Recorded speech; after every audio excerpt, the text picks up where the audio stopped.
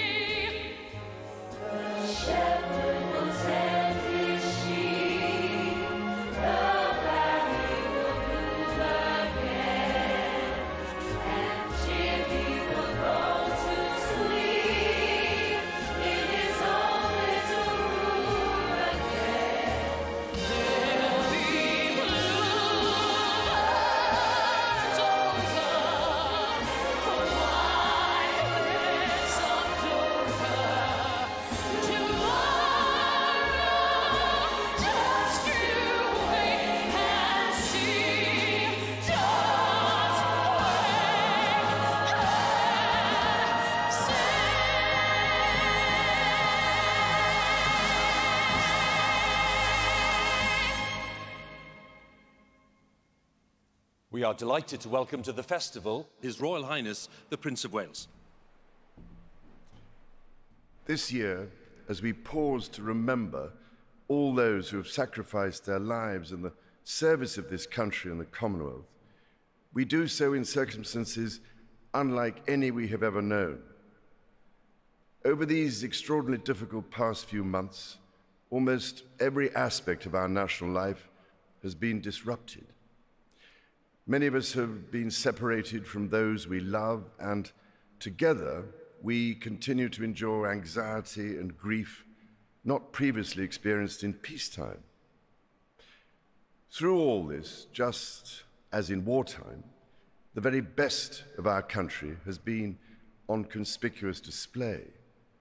We have reaffirmed our faith in each other and in our communities, and seen afresh that service to others underpins our society. We have been reminded that heroes and heroines are all around us and take many forms. This current crisis has afforded us a keener perspective on the 75th anniversary of the end of the Second World War. We could not come together for VE Day or VJ Day as we had so dearly hoped, but they were nonetheless cherished occasions to remember the sacrifice of those who served in whichever theatre of war and to restate our gratitude for all that their generation and the generation before have given us. In this challenging year, we have perhaps come to realize that the freedoms for which they fought are more precious than we knew, and that the debt we owe them is even greater than we imagined. We have seen, too, how much the wartime generation continues to teach us. The actions of veterans, Captain Sir Tom Moore and Private Joseph Hammond, or of Margaret Payne, and many others like them, offer a shining example of selfless commitment and of how even those in their later years can achieve so much good by placing others ahead of themselves. Their example continues to guide our servicemen and women today. Throughout this pandemic, our armed forces have stood side by side with our medical professionals, key workers, and emergency services in the fight against coronavirus whilst maintaining the defence of our nation at home and abroad. In many cases, uh, this has meant longer spells separated from their families and extended periods of isolation in order to safeguard the integrity of vital elements of our defence. To our armed forces today and those who came before them, to those who made the ultimate sacrifice and never returned, and to our veterans on whose service our treasured liberty rests, we renew our heartfelt and eternal gratitude. Your example continues to inspire and guide us all. The armed forces have played a vital role supporting the UK's response to coronavirus. During the pandemic, I was deployed as a team member in MTU, Mobile Testing Unit. It was two days training and then straight to work. That time is the proudest moment in my life, putting little contribution towards the country. I was part of the ventilator distribution team. It was an extremely quick turnaround and we were moving ventilators within 24 hours. We went to 55 different sites, moving hundreds of ventilators. My role is a transport manager assistant in the Royal Logistic Corps. I have to make sure like all these vehicles are good to go all the time.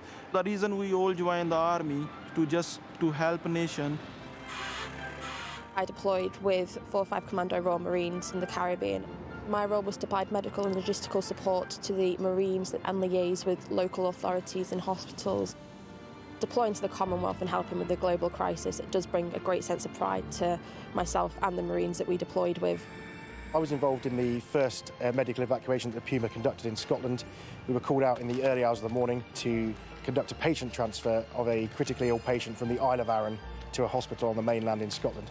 All of my team had a massive sense of pride that all the work they were putting in was to, to help out the UK in its time of need, um, and more importantly, to help out the NHS.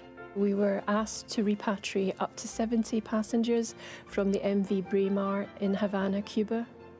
These passengers were elderly, um, had some mobility issues, displaying symptoms of COVID. The numbers that we were bringing back has been unprecedented.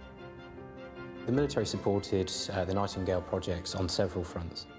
The task was incredibly challenging in terms of the scale of the construction alone, but then when you put into the fact that we were looking at constructing in a matter of days, I don't think you have to go overseas or to go to war to serve your country. What I did as part of the Nightingale project is the most professionally rewarding, challenging and satisfying thing I've done in my career. Just a few examples of the strong support given by the armed forces to frontline workers in the battle against the pandemic this year. They have shown remarkable dedication and service.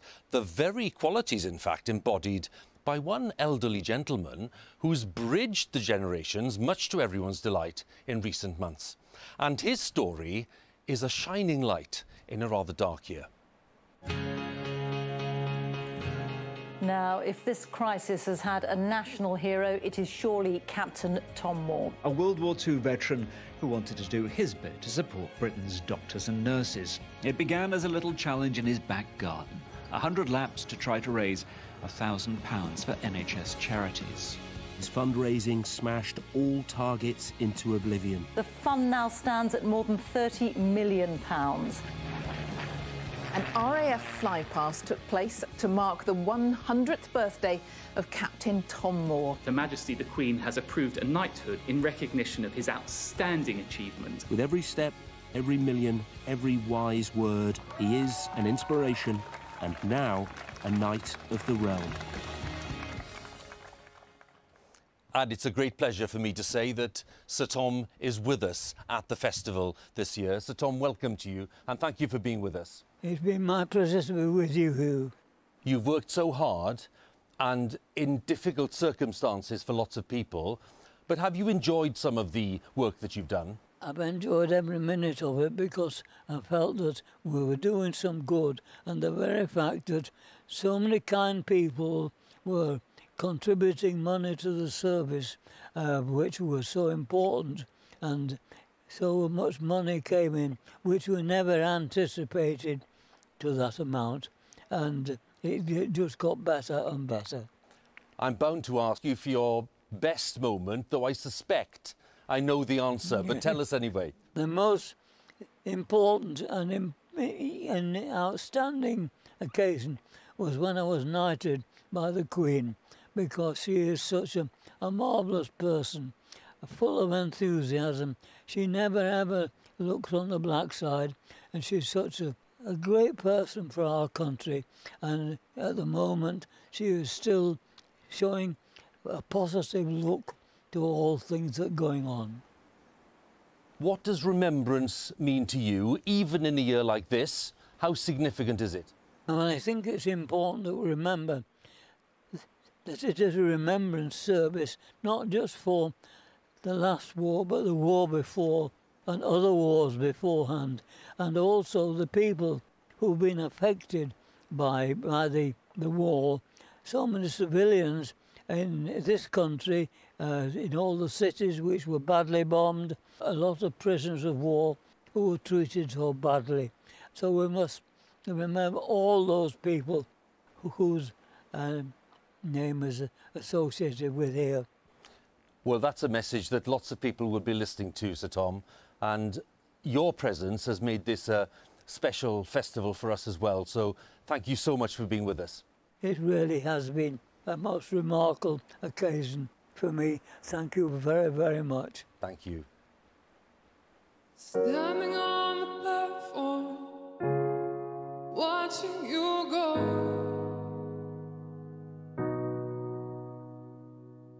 It's like no other pain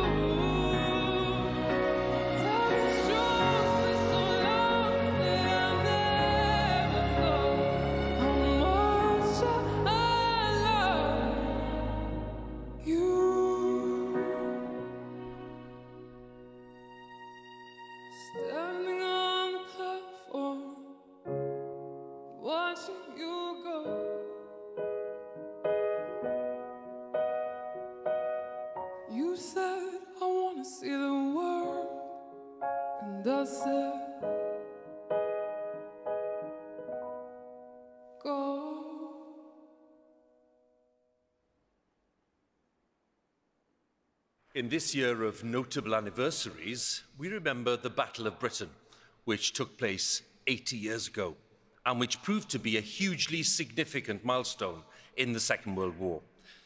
By the early summer of 1940, the Allies were in a desperate position as Nazi Germany pushed through northwestern Europe.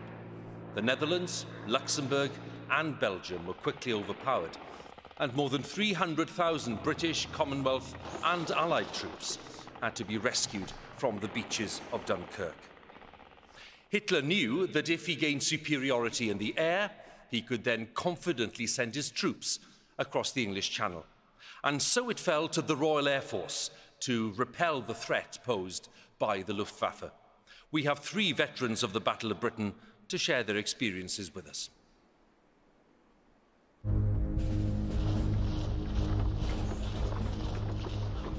the Battle of France is over. The Battle of Britain is about to begin.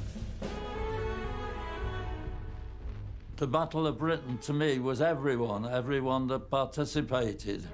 They always talk about the few. I don't see any difference between the few and the many, really. We were just all doing the same job. I was a junior technician working on some of the radar stations around the UK. The radar system was able to detect German aircraft at some distance. We could plot the progress of the bomber aircraft and get our fighters up in position just as they arrived. I was jolly proud to get that job as a plotter in the filter room, and I loved it. There were a lot of aircraft. You'd have dozens and dozens of little plots on the table. You had to see at a glance where the Germans were coming in and immediately send that through. Scramble 5 squadrons, Manston and Lympne. I was part of the ground crew. From dawn till dusk, the aircraft were going up from five times a day, and we always had to stay there with the aircraft until they got the call to go up. People these days don't realise how many people from other countries were in our services and helping us Canadians, Australians, New Zealanders, Czechs, and some Polish as well.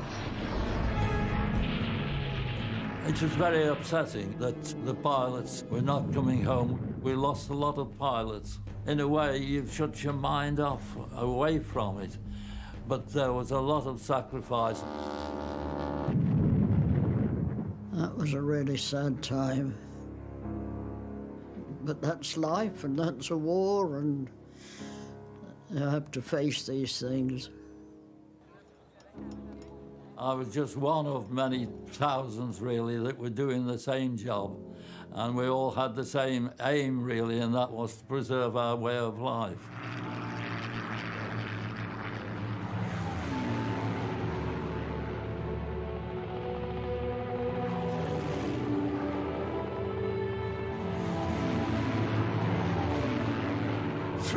And via the telephone, we received news that the enemy was building up in France. The 100 plus, 200 plus, 300 plus, 400 plus. And you look around you and you think, my God, there are only 12 of us here. You know, where do we start?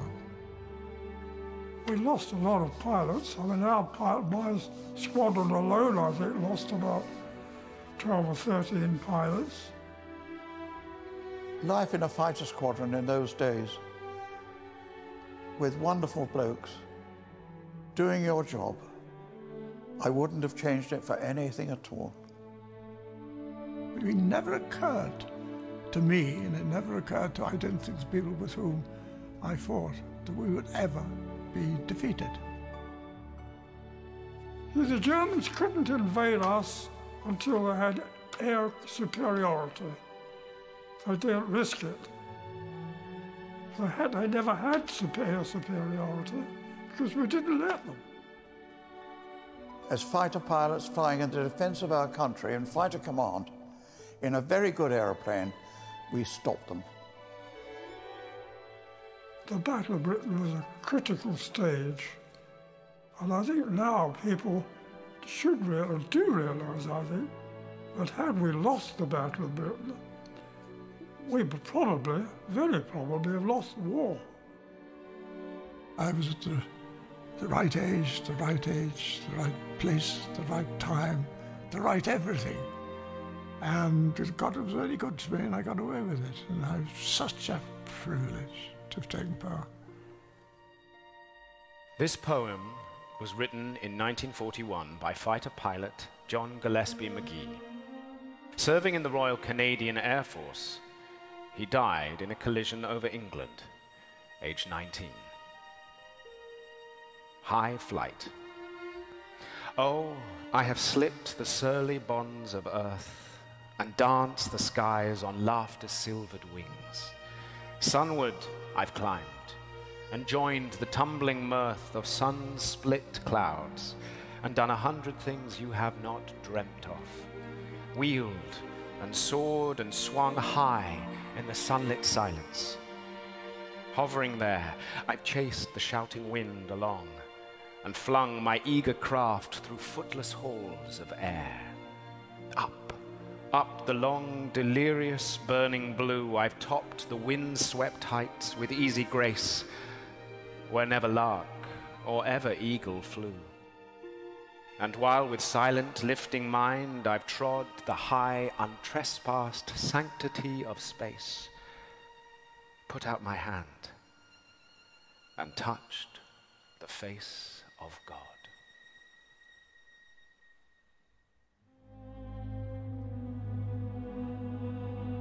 Never in the field of human conflict was so much owed by so many to so few.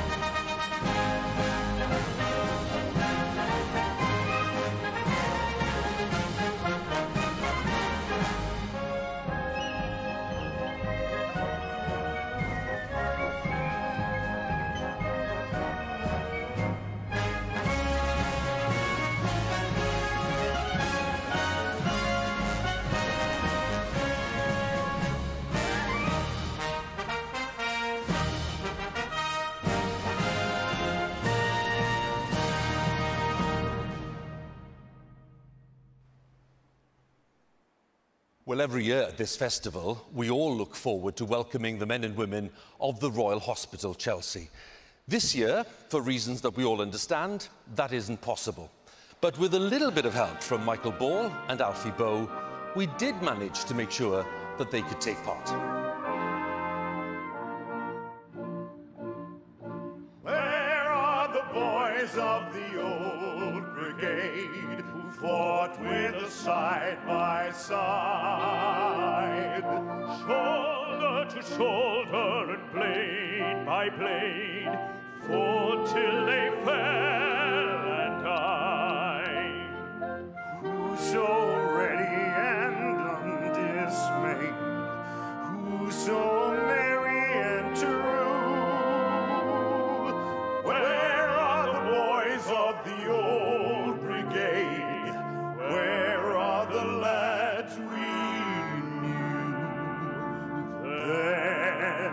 Steadily, shoulder to shoulder,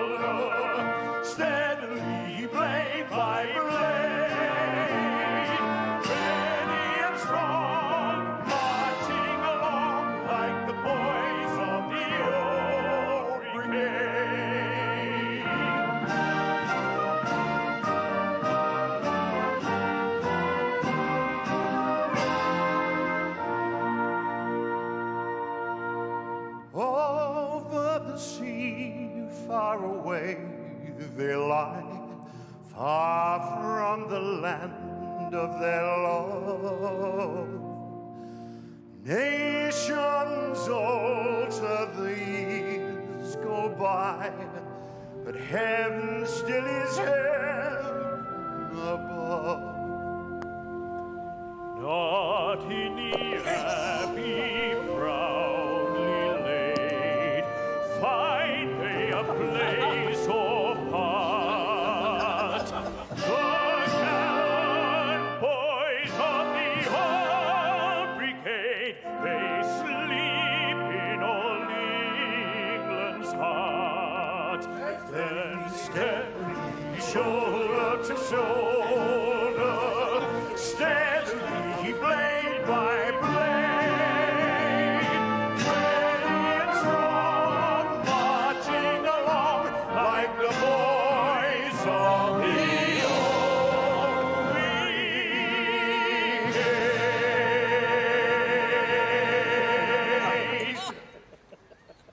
And isn't it wonderful to see so many of the Chelsea pensioners determined to take part in this year's festival?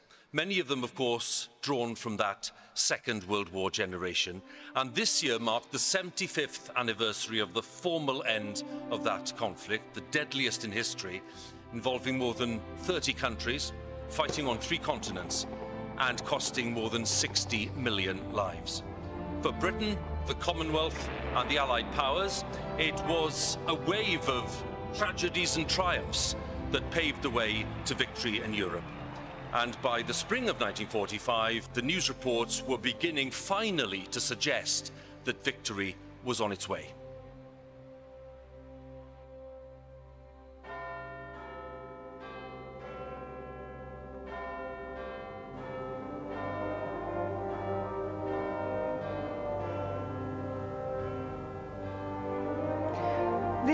Testimony of Elsie Brown, a housewife who lived in the East End of London. I never missed evening prayers because my husband, Bert, was in the artillery somewhere in Germany. And it, it's silly, I know, but I thought that evening prayers was a way of staying in touch with him. I imagined him, wherever he was, listening to and thinking about home. Course, I didn't ever know if they broadcast it over there. Probably they didn't. Anyway, this night, I was still warm in the pot when I heard the news. This is London calling. Here is a news flash. The German radio has just announced that Hitler is dead. I repeat that. The German radio has just announced that Hitler is dead. At first, I didn't believe it. Then I thought, it's on the BBC. So it must be true. I didn't know what to do. I wanted to tell someone, so I decided to run next door. My neighbour, Vi, worked the late shift on the buses and was always up till midnight. So I went round and I, and I banged on her door. And when she opened it, I shouted something like, He's dead! Dead! And she said, What, Alfie? So I said, No, not Alfie, Adolf. When the penny dropped, Vi said, Here, Else, you better come in. But I couldn't because I'd left the kids asleep. So she came back with me and bought a bottle of Guinness that she'd been saving for a special occasion. And we shared it. She said, Do you think it'll all be over soon? I think I nodded. And I remember I suddenly started crying. I don't know why. I couldn't stop.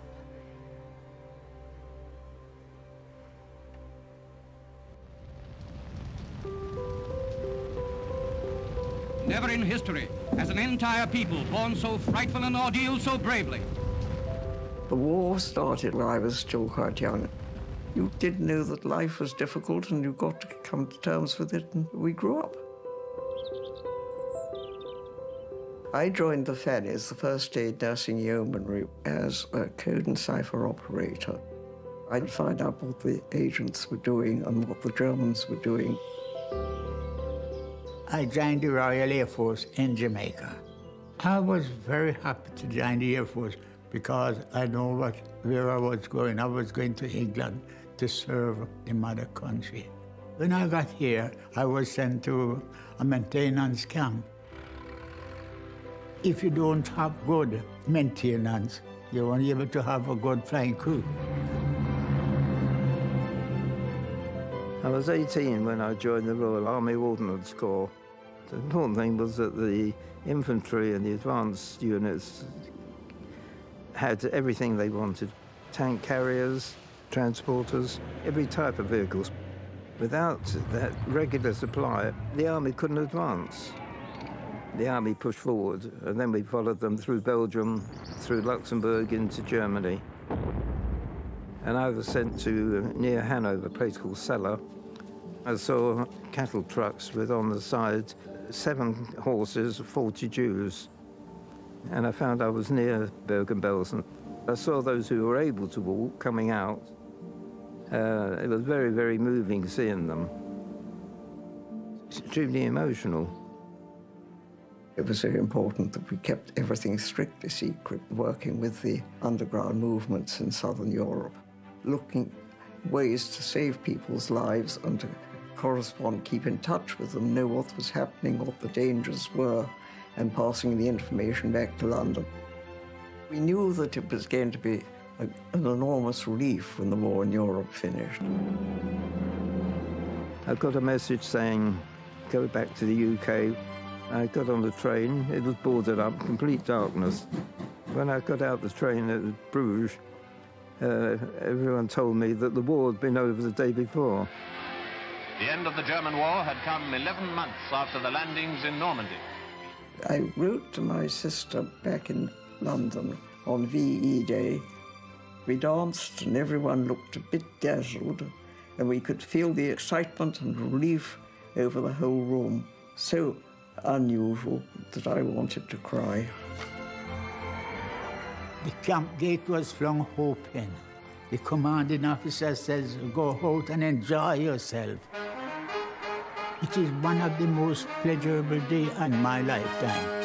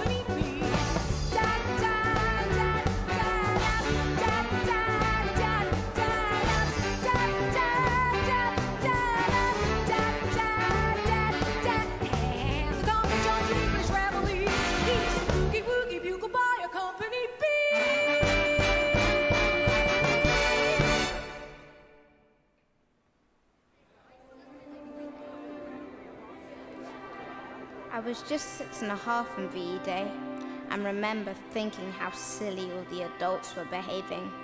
I realize now they were tipsy. I had no memory of life before the war, so seeing people singing, dancing, and being so happy was a new experience. Although people had very little on VE Day, everyone went to so much effort to make it special.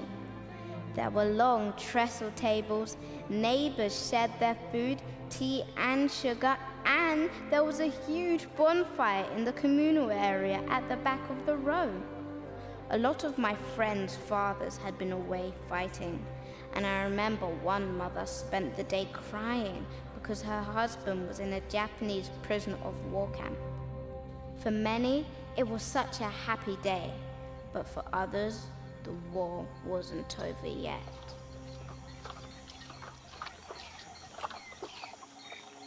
It's a war of jungle fighting, of ambush and sniping in Burma. It was appalling, especially during the monsoons. I was motor transport driver, and our job was trying to discover any planes that had crashed. we would try and salvage any parts that we could, and of course, destroy so the Japanese couldn't get any. अठारह उन्नीस साल का होंगे मैं जब मैं British army join की थी। मैं सिग्नल कोर्स पाँच साल पद्म फ्रंट पे लड़े। कम्युनिकेशन तो ऐसी चीज़ है अगर कम्युनिकेशन ना हुआ तो फौज तो ख़त्म हो जाएगा। I was on HMS Indefatigable. I used to, arm up the Seafires, our job was to stop the fighters because planes, really hundreds of them, these um, kamikazes, you know.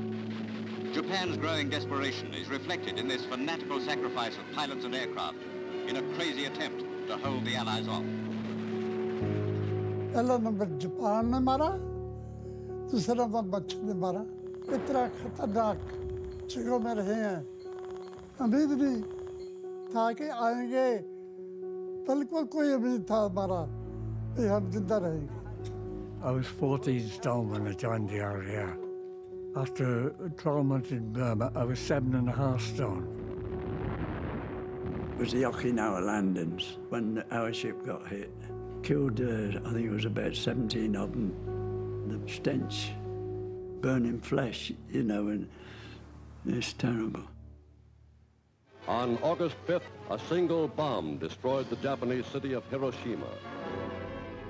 Japan ने लड़ाई बंद नहीं करना था सिर्फ atom bomb ने बंद किया When the bomb was dropped, we were all pretty pleased we weren't going on the invasion. We didn't want to do a D-Day out there. Japan has today surrendered. Oh, everybody just cheering and happy sort of thing. It was all over. ਸਾਨੂੰ ਇਹ ਯਾਦ ਰੱਖਣੀ ਇਸ ਵਾਸਤੇ ਜ਼ਰੂਰੀ ਹੈ ਜੋ ये तकलीफें हुई हैं जो नुकसान हुआ है उसमें कुछ फायदा तो नहीं We were tasked with bringing back the prisoners of war, skin and bone, some of them. I came home in May 47. You stepped into a new world. But you missed all those comrades that you left behind.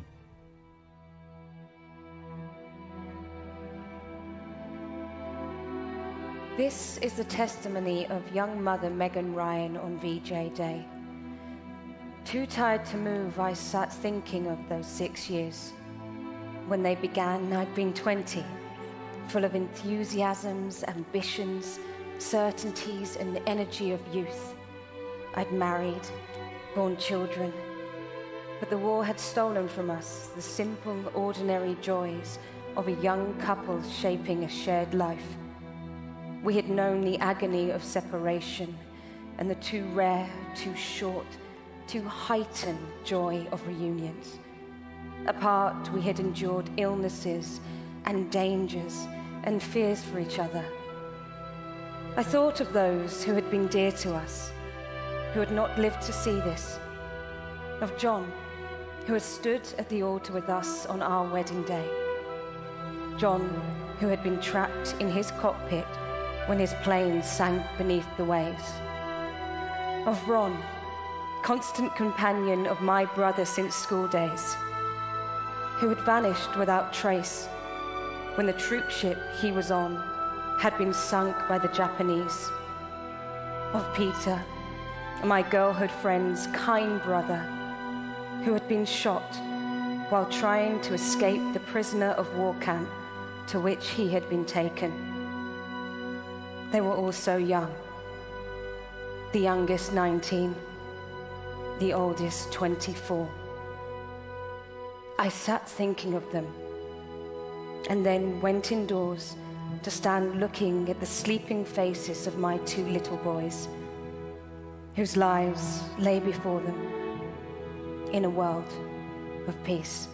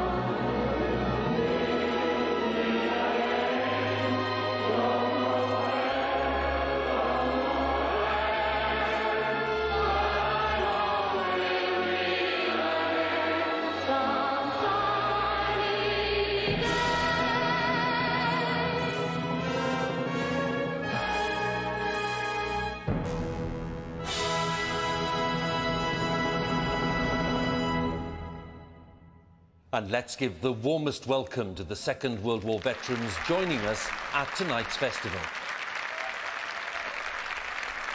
And they are sisters Jean and Pat Outram, Norman Bartlett, Mervyn Kersh, and Rajinder Singh Dhatt, and Frank Ashley, and Albert Jarrett. Welcome to all of them.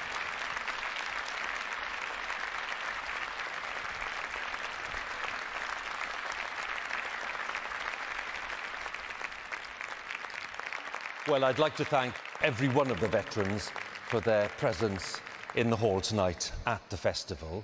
Let's listen now to the words of Norman Bartlett, uh, a Royal Naval veteran who saw action in the Atlantic and in the Far East. 75 years ago, my generation celebrated victory, having fought for just cause and won but the price we paid was high. Every day I remember my comrades who lost their lives so that we could live in a free world. I also remember prisoners of war who suffered tremendously, some of whom my ship helped to return home. Today, it is easy to think of them as statistics, but we should remember that they were fathers, mothers, sons, daughters, husbands, wives, all with loved ones, who, just like you and me, carried hope for a better life. It is our duty to help future generations to continue to remember them and protect the freedoms they died for. We must never forget those people who paid the ultimate sacrifice on the home front and abroad.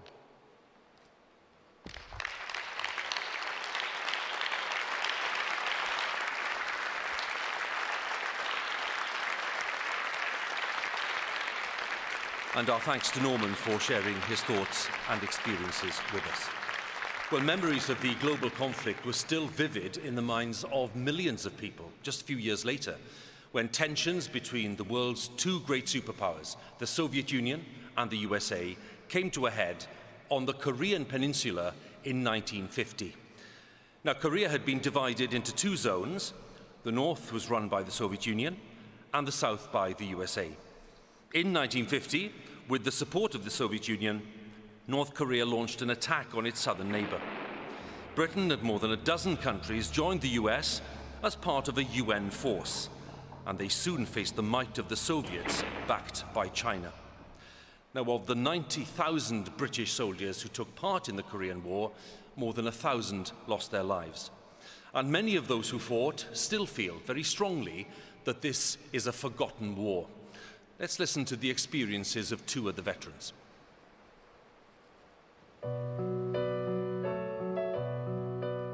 I joined the uh, Royal Marines on June the 14th, 1949. Twelve months later, I was on my way to Korea. When we got there, we learnt that the Chinese had come into the war and taken up positions all the way around Chosin Reservoir. The Americans up at the reservoir are outnumbered by at least 10 to 1. 5,000 Marines are in camp under enemy fire, battle worn and short of supplies. Our unit had been given the job of forming a convoy and, and breaking through the Chinese. It was a huge convoy, well over 100 lorries. Every time they stopped, machine gun fire came in. Ping, ping, ping, all over the place. And my good friend, Joe Belsey, we were just lying together. Joe was killed. That night, we all said our prayers. And uh, how three or four of us managed to get away from that, back of that truck, with those bullets coming in like that. It's unimaginable. We lost 20 odd killed.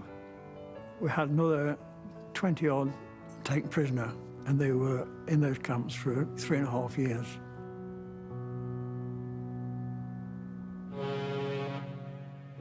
You knew national service was coming up and that soon after your 18th birthday you would be called up. And in January 1951, I was commissioned into the King's Own Scottish Borderers. The regiment was sent off to Korea.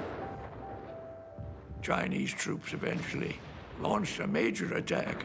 One of the officers in charge of the platoon alongside me was wounded, and so I took charge of his platoon too.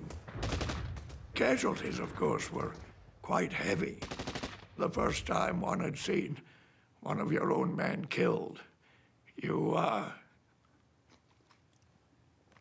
I suppose, ceased to be a boy and became a man. I was able to evacuate some very badly wounded men. News came through that I'd been awarded the Distinguished Service Order, and I think it was more for the recognition of national servicemen as a whole, what they had achieved. South Korean people are very appreciative of what the United Nations did to save their country.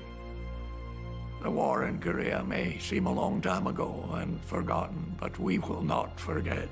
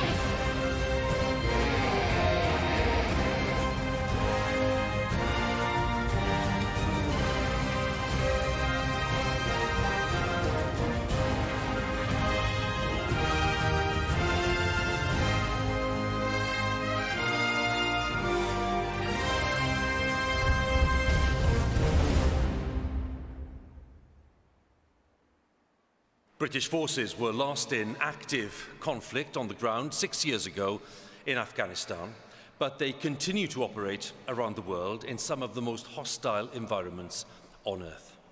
Earlier this year, Lance Corporal Brodie Gillon, a reservist medic, was on tour in Iraq when her military base came under rocket attack. She was killed in that attack alongside two American soldiers. Her mother and sister wanted to pay her this tribute.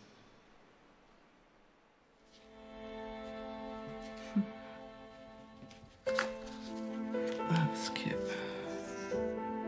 She was very generous and kind and mischievous and and a wee naughty smile, a wee cheeky smile. She could be girly and and cute and funny and be boisterous and adventurous and and yeah, she could be all that. a long time aim would have been a paramedic. And Yeah. she she really thought that you know that army would give her the opportunity and the experience that she would need to do that. She did her degree and when she came back she, that's when she decided that she was going to to join up as a reserve. Although she was in the reserves, Brodie seemed to fit right in. She was so good at her job. I'm uh, gonna go to Iraq for six months. She deployed to Iraq on her birthday, the 9th of December 2019. I didn't think that she would be in any kind of danger at all. On the 11th of March, went to bed about 10, big knock at the door, and the woman from the army had come along. She asked if, if we were Brodie's relatives. And she said she'd been killed in action. Asked her if she was sure, and she said yes. Yes, she was.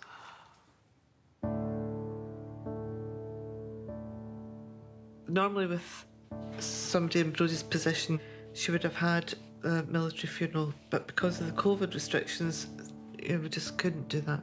I think that's what COVID did. It, it took away those opportunities to remember her and celebrate her life because we couldn't have um, what we felt was, you know, the full funeral. We asked people to light a candle for her um, the night of the funeral and share it on social media. We watched them um, come in Yeah, on the night we watched them coming up. from all over the world. Remembrance Day services makes me feel better that th- that's going to happen every year, that people are going to remember. we are very clear how Brodie would want us to continue. It would be be kind, be generous, be ambitious, be tenacious, be all the things she was. Feels as if she's still away and that she could be back anytime. I don't actually think we'll ever come to terms with her. Amazing grace, how sweet the sound that saved a wretch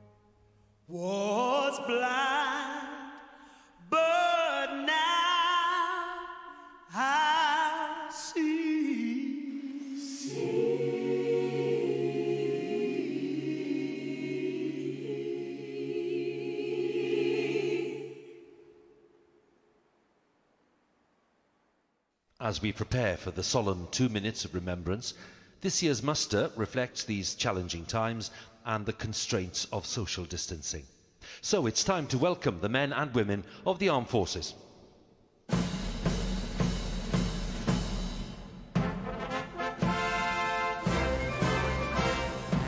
So we have far fewer representatives with us tonight, but their presence reminds us of the many thousands who serve in so many capacities. 10 representatives of the Royal Navy. They include the Royal Marines and Queen Alexandra's Royal Naval Nursing Service. They've been working very hard to help the NHS in responding to the pandemic. With us too are the Royal Navy Reserves, the Royal Fleet Auxiliary and the Royal Marines Reserves, the youngest of the reserve forces formed 72 years ago. 10 representatives of the Army led by the 1st Battalion Grenadier Guards. They've been heavily involved in running some of the COVID testing centres. King's Troop, Royal Horse Artillery with us too. And then we have the Royal Gurkha Rifles and the Queen's Gurkha Signals. Following them, the Army Air Corps. And the final part of the Army presence is the Army Reserves.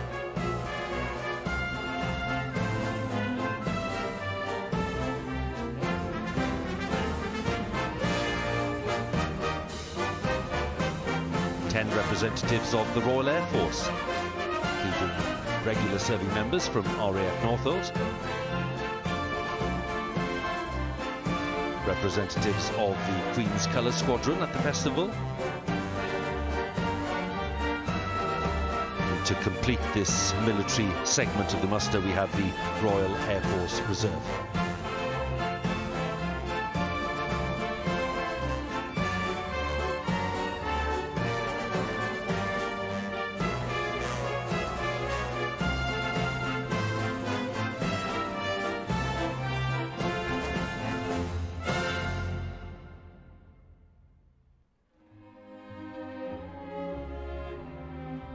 Also welcome members of the Merchant Navy, the Civilian Services and the Royal British Legion. Six representatives of the Merchant Navy in the hall tonight, uh, marking 75 years after the end of the Second World War when 30,000 merchant seamen lost their lives. And then the Civilian Services from the Royal British Legion, which of course has been working very hard this year to promote the Poppy Appeal despite the difficulties posed by the pandemic. Civilian services also including St John Ambulance and the police, the fire and rescue services and the British Red Cross. In charge of all the military arrangements at the festival, Garrison Sergeant Major Andrew Stokes. And in charge of all the talented military musicians is Lieutenant Colonel Simon Haw, Commanding Officer of the Household Division Bands. Everyone coming together to pay tribute to those on the front line this year.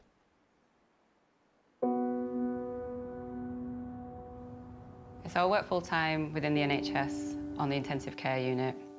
And then part time, I'm a RAF reservist. I joined the army before I went to university. I did my basic training. At the moment, I'm working as a nurse in critical care. Due to the nature of COVID 19, we were having a lot more patients um, coming into critical care who needed ventilating. I deployed in 2011 to Afghanistan.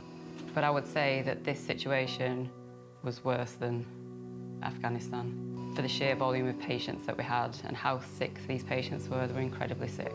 It was just something like out of a horror film. It was something that none of us have really experienced in our lifetimes before. So we had nurses who'd never had any intensive care training and were really willing to learn. And all of a sudden they were looking after some incredibly sick patients. And actually, these redeployed nurses became an absolute credit to the NHS. Family members weren't allowed to visit their loved ones, even when their loved ones were dying, they couldn't come in to say their goodbye. So they did want that reassurance that their loved ones is not going to be left alone as they're passing away and know that we're going to be there for them when they can't be. But it was just heartbreaking. One day we had a young lady who was pregnant and she'd been on the intensive care unit for quite a few weeks. And I turned around and I saw her smiling at me. And that was such a heartfelt moment. And I just realised that we can do this. We can, we can beat this virus. When I carry the Book of Remembrance, I'm going to be thinking of the soldiers who lost their lives during my Afghanistan deployment, but also all the healthcare workers around the nation that have lost their lives to the coronavirus. Somewhere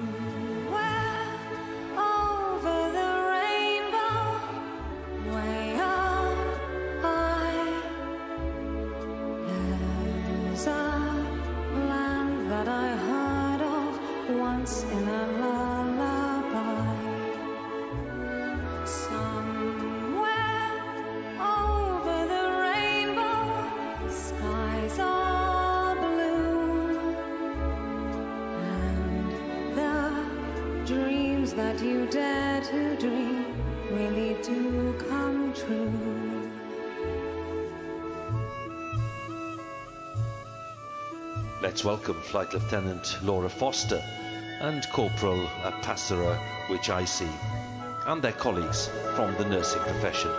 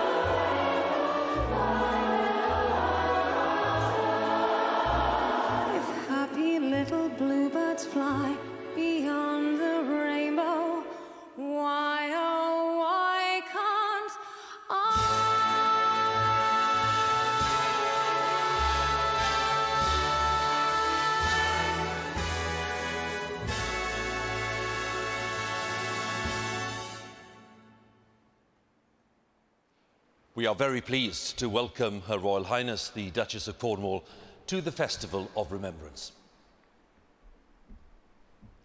As the proud Commodore in Chief of the Royal Naval Medical Service, it's a huge honour for me to pay tribute to our wonderful nurses, both military and civilian.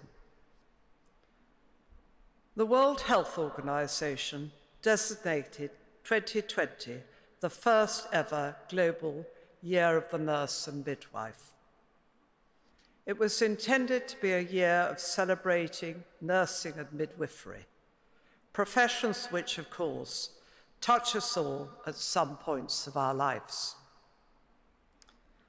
This year has not turned out exactly as any of us could have anticipated, but it has truly been the year of the nurse and midwife. Military nurses have worked alongside their NHS colleagues across the United Kingdom, using the skills learnt in conflict in battle against COVID.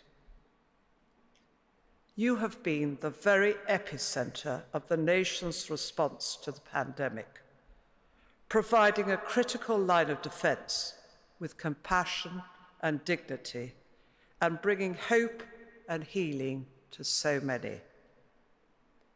And you've done this all the while being held at readiness for military deployment. For your service, we are deeply in your debt. And yet, as we know, behind each act of service lies a sacrifice. This can take many forms. Missing your much needed rest, enforced separation from your families, and even putting your own lives at risk. Today, as we reflect on sacrifice, we remember those nurses who have given their lives in the fight against COVID.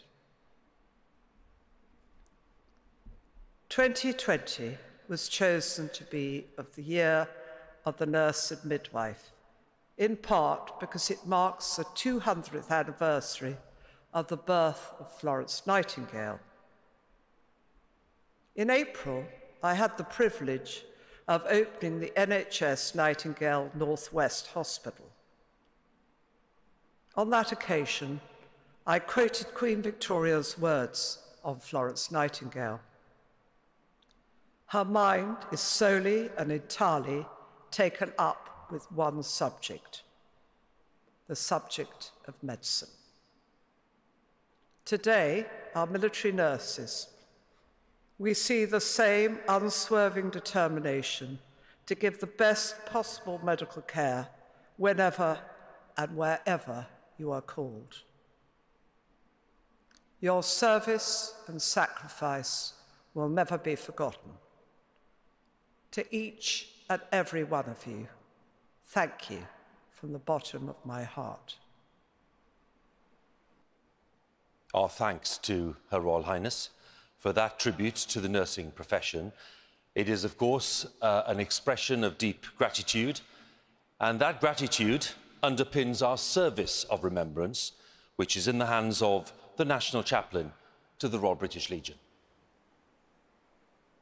75 years after VE Day and VJ Day, and 70 years on from the beginning of the Korean War, we remember with thanksgiving and sorrow all those whose lives have been given and taken away in the cause of justice and freedom.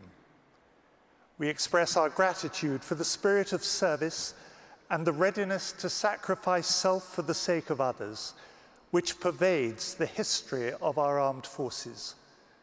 And today we celebrate in particular the most elderly members of that community, whose legacy we enjoy and whose example of fortitude and solidarity continues to inspire us all.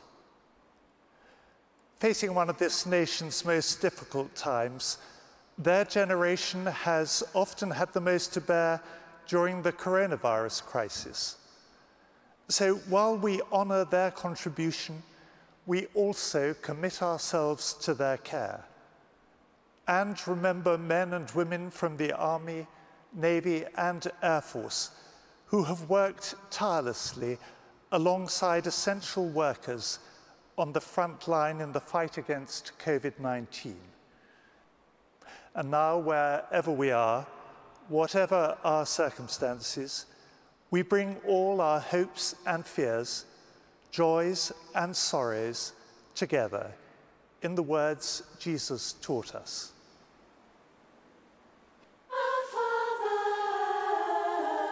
which art in heaven,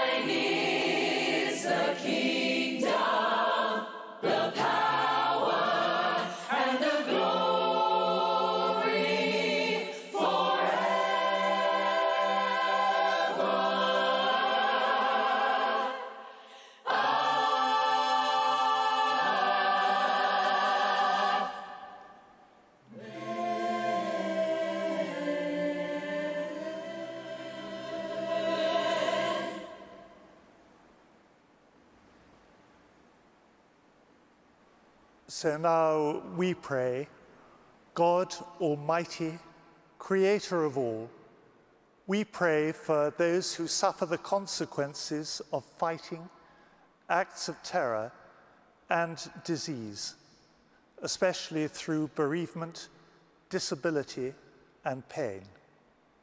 We ask for your comfort, remembering in particular those who had no opportunity to say goodbye and commend to you the Royal British Legion in its ministry of care and support for veterans and their families. We pray too for the Legion's patron, our Sovereign Lady Queen Elizabeth, that you will bless and sustain her in all that she is and does. Lord, we pray also for all members of the armed forces community committing to your care those of every age, religion, and race. And at this time of global crisis, we pray that you will grant us a renewed spirit of respect for one another and unite us all in love for you and for our neighbors. Enable us to build harmony and bring hope in our families, our communities, and the Commonwealth. And so guide our paths and lead us in the ways of peace, that our lives may speak of your justice and mercy, now and forever. Amen.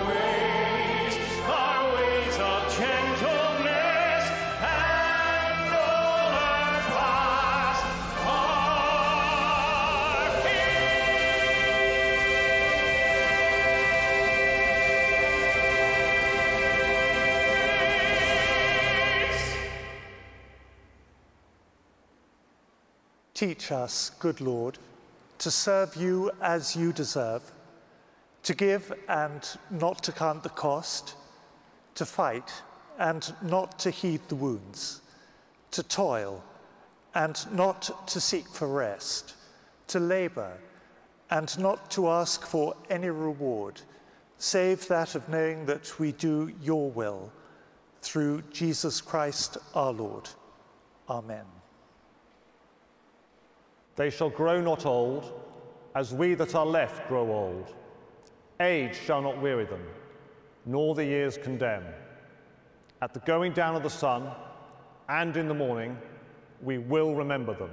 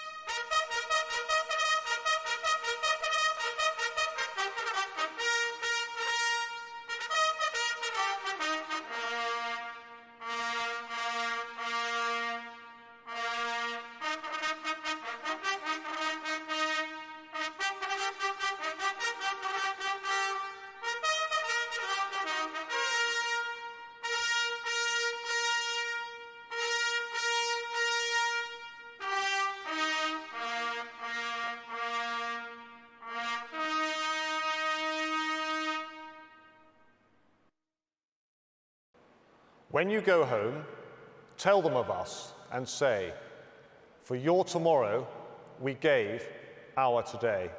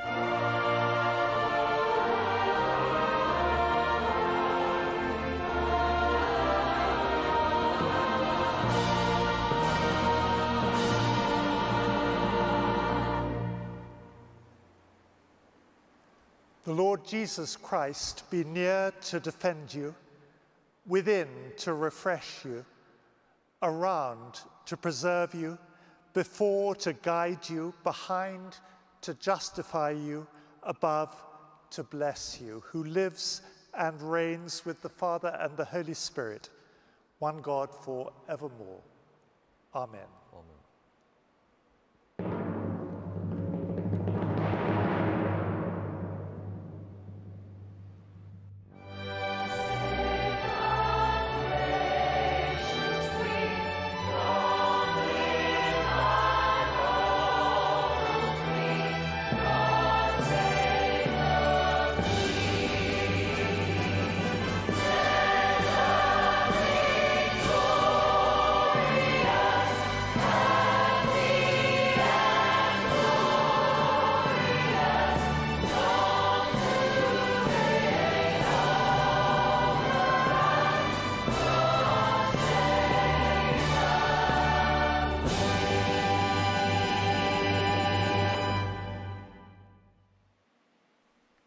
And that concludes the Festival of Remembrance for 2020. Tomorrow, the Queen and members of the royal family will gather in Whitehall at the Cenotaph. Our coverage begins at 10.15 on BBC One. But for now, from the team at the Royal Albert Hall, thank you for watching and good night.